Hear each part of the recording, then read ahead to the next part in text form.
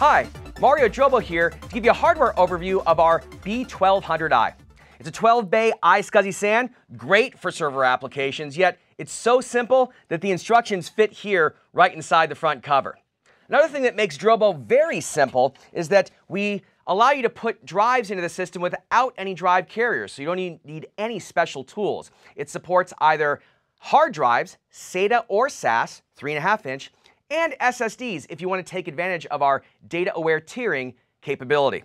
They go into the system really easily. In this case, the hard drive pops right in. And if you have a compatible model SSD that's 2.5 inch, you can adapt it to a 3.5 inch application. And this one happens to come with our drive bundles. It's 3.5 inch to start with. They slide right into the system just like that. Now let's turn it around to show you what makes B1200i unique. First off, you'll see we have a modular architecture. It's that way so you can replace components in the field while maintaining your uptime, so you have high availability.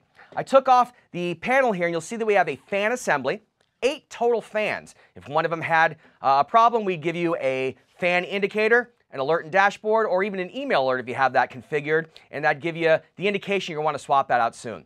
Drobo has a field replaceable unit kit or spares kit that you can purchase and keep on site with you to make those replacements even faster. But the system does keep running in the event of uh, a fan failure or even a power supply failure. In this case, we have two of them for N plus one redundancy. So uh, in the event that you need to replace one, you can loosen it up, pop it out, pop in your new power supply, and you're back to full redundancy.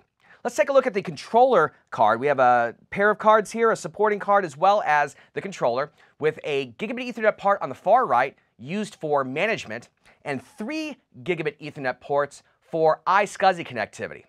The most popular way to configure those would be for multipathing, so you can take advantage of the aggregate throughput across those three ports, as well as have failover for high availability.